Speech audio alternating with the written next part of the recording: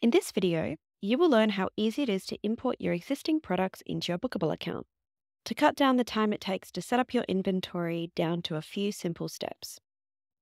A product import is a simple process of downloading our spreadsheet template, filling in the pre made fields with your Booqable product information, and then you can import it into Booqable, which would open up the product mapping page, which is where you can map those columns to the correct Booqable product fields and having your new products appear quickly and effectively in your Booqable inventory. To get started, you can click into the inventory page from the main sidebar menu in your Booqable account and make sure that you have no existing products in your inventory, as this import will override them.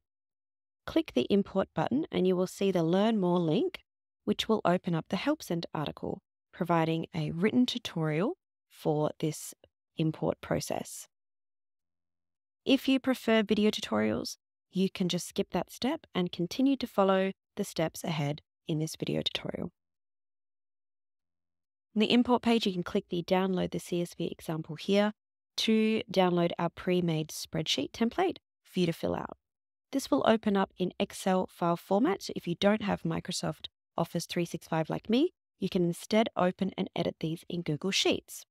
Click open a new Google Sheet, click File and click Import.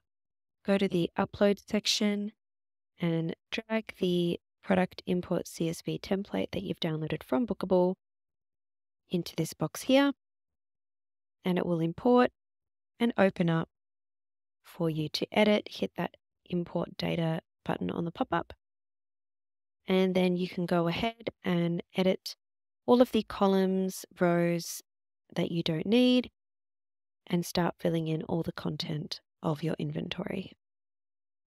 This tutorial is to import rental products with stock items, not rental products with variations, but if you want to enable variations, you can do so after the import. The first column you will see is where you can add the product name, such as iPad 64 gig, and the column next to that is where you can add the identifier, which is what you would want to do if you want to add individual trackable items. To explain this, in Booqable, you can create two different types of rental products.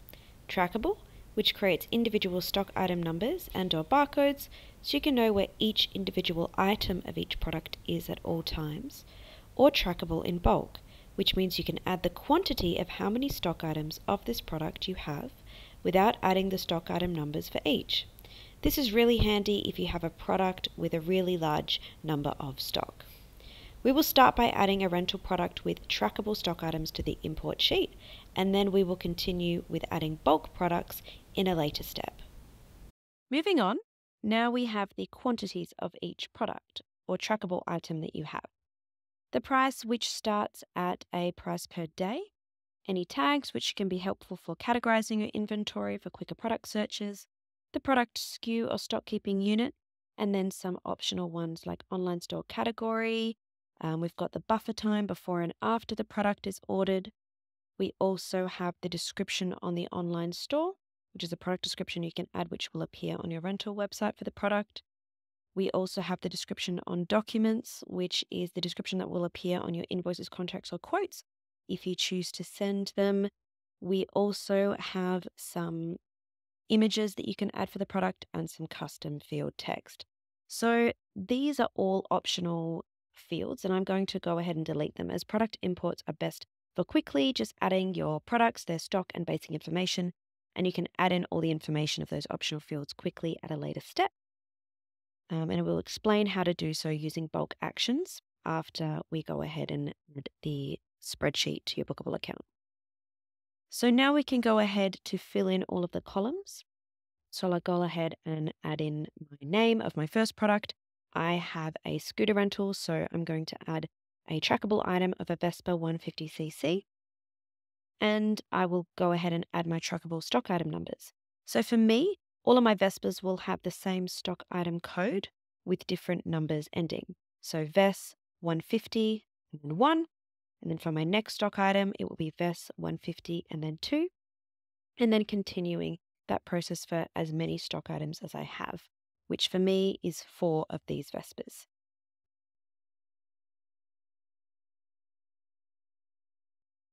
As all of these Vespas will, stock item numbers will come under the same mother product or product group, I'm going to go ahead and copy and paste the product name for all of the trackable items.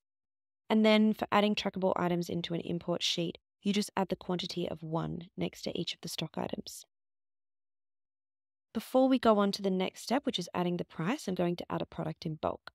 So here I'm going to add the name in the exact same way, but I will leave the identifier field blank, choosing to only add the quantity of stock I have instead in the quantity panel. So for my large helmets, I have 35. Another example of a product you can create using the bulk item type is an uh, phone holder for the top of my scooters, for example. I don't need to track those individually as they're small and low value products. And I have 40 of those item types. Now I can go ahead and add the price um, once I've understood the different process of trackable and bulk. And the price is a price per day. If I have another type of price for these products, like price per hour, pricing structure, or fixed price, don't worry, you can adjust that at a later step. Next, we have tags, which helps to categorize my inventory in the back end. So for Vespas, I will add the Vespa tag. As I have multiple Vespas, I will add to this sheet in the future. And then for the other two products, I will add these as an accessory tag. Next is the SKU or stock keeping unit. For trackable products, I have already created different stock item numbers or codes, so they will all have the same SKU. And I will repeat this step for my bulk item types as well.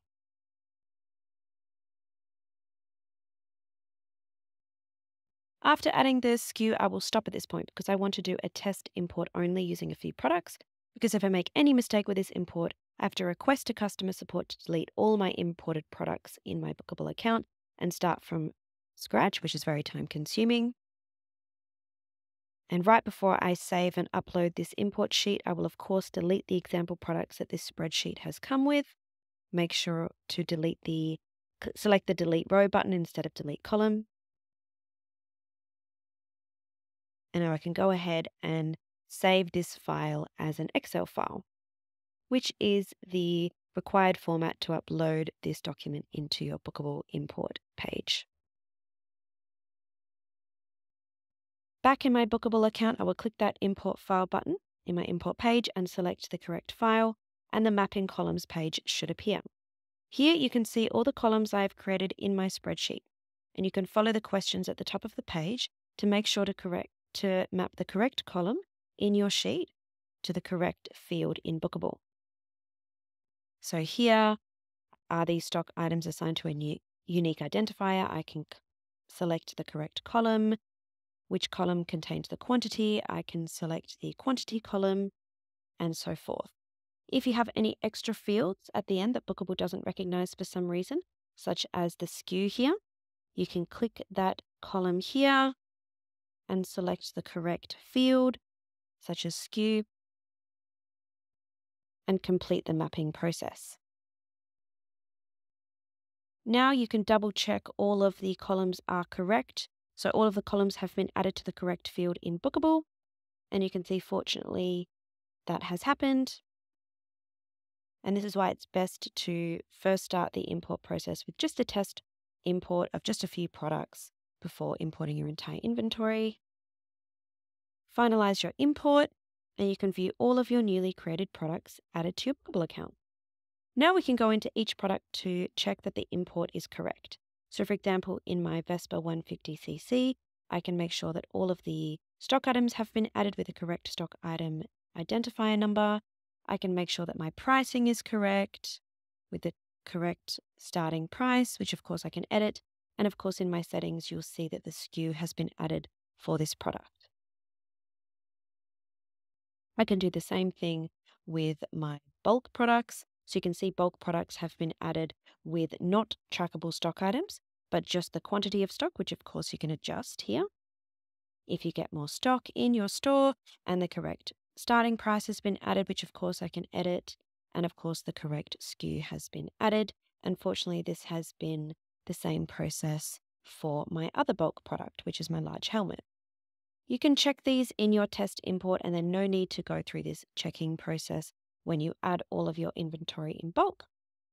You can also see that the correct tags have been added. So if you type in the tag in the product search bar, you can see the correct products appear and you can also filter on the left hand side tab section. So now we can make some adjustments to these products with a few easy steps. You can select all of the products uh, through the checkbox at the top, click the Actions button, and click Edit Products. We can start by adding a tax profile to all of our products, for example, if your prices already uh, don't include tax. I've already added a tax profile to my Booqable backend setting, which you can learn how to do through the link in the description box below. Other things you can do is also adding an advanced pricing rule set, which is an adjustment to the price on certain weekdays or dates of the year, which you can also learn how to do in the description box below through the link. You can also make sure all of the selected products appear in the online store. You can make sure they're eligible for discounts if you plan on using things like coupon codes in the future on the online store or in store, even. You can also allow shortage, which is explained in the link in the description box below, but I will skip that step for now. And also, you can add the same buffer time for all of your products. For example, before each product is picked up, I want to have two hours prep time to make sure my product is uh, ready to go, cleaned and inspected. And also, I can add a buffer time of two hours as well after each product is returned for the same process. Click Save, and now these changes have been made. You can go into all these products to double check these changes. You can see the right pricing rule set has been added, the tax profile has been added as well, and you can see the buffer time has been added for these products as well.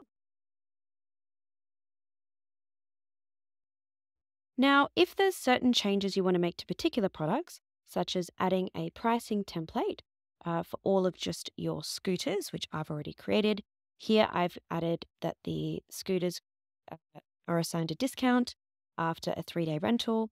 So I can go into my inventory pages and only select the scooters here. Click pricing method, click pricing structure, and assign my specific pricing structure for this product. If you have more than one product that you're assigning the pricing structure to, you can skip adding in the starting price as you've already added that into the import sheet. And you can select edit all. And now in that product, you can see that the correct pricing structure has been added.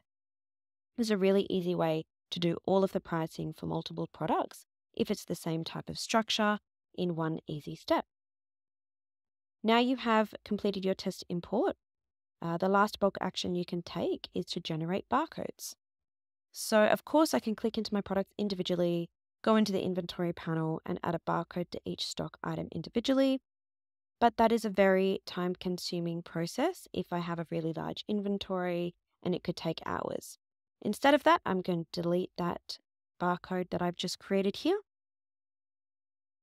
and I can go ahead and click back into my inventory page in Booqable and select all the products that I wish to add barcodes to, which for me is only the scooters, and then add the click the generate barcodes button from the actions menu at the top and make the correct selections on this pop-up. So create barcodes for individual stock items, select the correct barcode type, which is QR codes for me, and back in your inventory page, you can see that all of these stock items for my individual trackable products have been assigned a new barcode. And now that you have completed your test import, you can delete those products in your Booqable account, open up the spreadsheet again, and add the rest of your products on top of the products you've already added, and repeat the process to upload your entire inventory into your Booqable account. And you're all set. You have now successfully learned how easy it is to import your existing products into Booqable to cut down the time it takes to set up your inventory into a few simple steps.